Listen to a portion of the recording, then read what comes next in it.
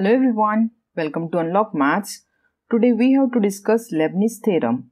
This theorem is used for finding nth derivative of product of two functions. So to understand this theorem, first we should note down some points here. Yes, we know that if we have function y, if we take this y is equals to this is x cube. If we differentiate this y with respect to x, we get first derivative. First derivative we denote this is by y1, right? And this is here we get first derivative of this x cube, this is 3x square, right? Similarly, if we differentiate this y1, we get second derivative. This is we have to call it as a y2, right? And this y2 is here. Yes, now this derivative 3 is constant. x square derivative, this is twice x. So we get second derivative 6x. Similarly, again if we differentiate this y2, we get y3. That means we are differentiating y 3 times, right? So here y3, this is 6. Again, if we differentiate this y3, we get y4. That means we are differentiating this y 4 times, right? So, fourth derivative of this x cube, this is 0. Similarly, fifth derivative is 0. So, fifth derivative of this y is 0. That means here we can write if we have x raised to m and if we take its derivative higher than this power then value of this is 0. Yes, we can say that if the order of derivative is greater than the power of this x, then derivative is 0.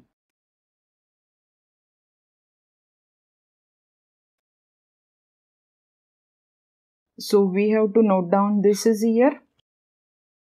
Next, we know that if we have function y, when we differentiate this y, we get y1, then y2, then y3, then yn, right? And this is called successive differentiation. Now, if we have y1, this is first derivative of y and we want y5, that means we want fifth derivative. So, how many times we have to differentiate this y1 to get y5? When we differentiate y1, we get y2, then y3, then y4, then y5. That means we have to differentiate this y1 4 times to get y5, right? So we can write this is as a y1, then its fourth differentiation. So here we have this is y1 plus 4. That means we get here y5. Similarly, if we have this is y2 and we want this 10th derivative. So how many times we have to differentiate this y2 to get 10th derivative? This is we have to differentiate this is 8 times. That means we get here y10. Similarly, next if we have y1 and if we take its nth derivative, then we will get this is y1 its nth derivative that means we will get here yn plus 1th derivative right? If we have this is y2 and we differentiate y2 this is n times. So we will get here y1 it's this is here we have y2 y2 we differentiate this is n times that means we will get yn plus 2 derivative. Similarly if we have y3 and if we differentiate nth times so we will get here this is yn plus 3 derivative, right? So we have to remember these points to know the Leibniz theorem. This theorem is used for finding nth derivative of product of two functions. Now we know that if we have y, y is a product of two function. We can find its first derivative by differentiating this y, right? So that we get here y1 and this is given by first function into derivative of second plus second into derivative of first and we know that this is product rule of differentiation, right? In the same manner, we can find y2 by differentiating y1, right? Then again, we can find y3 by differentiating this y2. Then y4, right? Up to yn. Yes, this is called successive differentiation, right? And if in case we want nth derivative directly from this y, at this time, we have to use Leibniz theorem. So we have to write down its statement now. If we have this y, this is product of u and v. This is two different function of x. Then its nth derivative is given by this nth derivative of this product u and v and this is given by this rule. Here we have to write down un into v plus nc1 un minus 1 into v1. So here we have to check that derivative of un is getting decreased by 1 and derivative of v is getting increased by 1. So in next term here we have to write down NC2 then un minus 2 into V2 right. Then next term here we have NC3 then un minus 3 and then V3 right. Here we have NC0, NC1, NC2, NC3.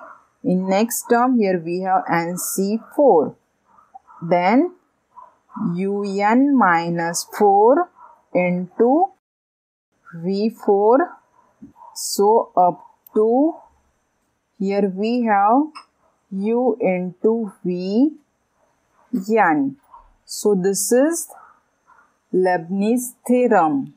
So here we have to note down that derivative of un is getting decreased by 1 and derivative of v is getting increased by 1 right and these are the binomial coefficients this is nc1 this is value of this is n then next here we have nc2 this is given by n into n minus 1 upon factorial 3 then nc3 this is n into n minus 1 and minus 2 upon factorial 3 right? Same here we can write nc4 up to ncn ncn this is 1 and these are called binomial coefficients. And we know that what is v1 this is first derivative of v. Similarly this is second derivative right? Then this is third derivative of v right? In the same manner this is u1 this is first derivative right? Then u2 u3 up to un this is nth derivative then un minus 1 this is n minus 1th derivative, right? So we have to note down this rule. Now let's understand this rule by one simple example. If we have this y, this product of two function x square e raised to x. Here first this function is algebraic and second is exponential. Now here to apply Leibniz rule, we have to note down that we have to choose second function whose higher derivative get vanished. Now we can check that here this is x square this is algebraic function and we know its higher derivative get 0 right that means we have to choose this x square as a second function. So we have to write down this is y as a e raised to x into x square, right? So this is first function and this is second function. Now we have to apply Leibniz rule here. That means here we have to differentiating this y n times. So we get here this is yn and this is e raised to x into x square. Its nth derivative, right? So, this is here first function that means its nth derivative. So, here we have to write down e raised to x its nth derivative. Then x square this is as it is. Plus nc1 then e raised to x its n minus 1th derivative right? Then x square first derivative. In next term here we have nc2 e raised to x its n minus 2 derivative and x square its second derivative. In next term nc3 e raised to x its n minus 3 derivative and then x square its third derivative and so on right so we have to simplify this is here now we know that e raised to x nth derivative this is e raised to x right? X square this is as it is. And c1 this is n. Again e raised to x. It's n minus 1 derivative. This is again e raised to x right? X square first derivative this is twice x. Next nc2 that means n. N minus 1 upon factorial 2 e raised to x it's n minus 2 derivative this is as it is e raised to x then x square its second derivative. This is first derivative, so second derivative is 2, right? And next here, this is nc3 into this one and x square its third derivative. That means this get 0. So here this term get vanished. So here we have to write down 0. Yes, we know that nth derivative of e raised to x. This is as e raised to x. That means if we differentiate e raised to x and times we get function this is as it is, right? So now we can simplify this is e raised to x, x square plus n into e raised to x into twice x. This 2 this is into here. This 2 and this 2 get cancelled and n minus 1 e raised to x and we don't have the next term here. So here we have find nth derivative of this given function, right? Next, if we have to find nth derivative of this y2 into 1 plus x cube. Now we have to choose this is the first function and this is the second function. Yes, we have choose this is as a second function since its higher derivative get vanished, right? So here we have to apply Leibniz rule. Here we have to write down first function its nth derivative right and second function this is as it is plus this is nc1 into y2 n minus 1 right then into 1 plus x cube first derivative. Next nc2 y2 its derivative get in decrease by 1 that means here we have n minus 2 derivative n minus 2 then 1 plus x cube its second derivative right? Then nc 3 y2 n minus 3 1 plus x cube its third derivative. Then and nc4 y2 n minus 4 1 plus x cube its fourth derivative. And we know that this fourth derivative this get 0 right? So we will get term up to this one. So we have to simplify. Now this on simplification when we differentiate y2 n times we get yn plus 2 derivative so here we have to write down yn plus 2 then into 1 plus x cube as it is and C1 this is n and then n2. So we have differentiate y2 n minus 1 times. So here this is y2 plus n minus 1 that means this is get y n plus 1 right? So this is yn plus 1. Now this is first derivative. 1 derivative 0 x cube derivative this is 3x square. Next NC2 this is n n minus 1 upon factorial 2.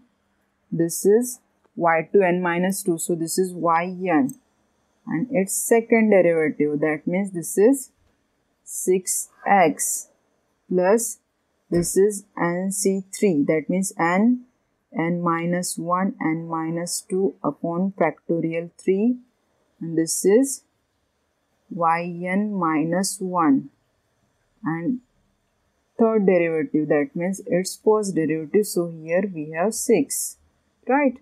And this is plus 0 yes here we have write down. This is what we have.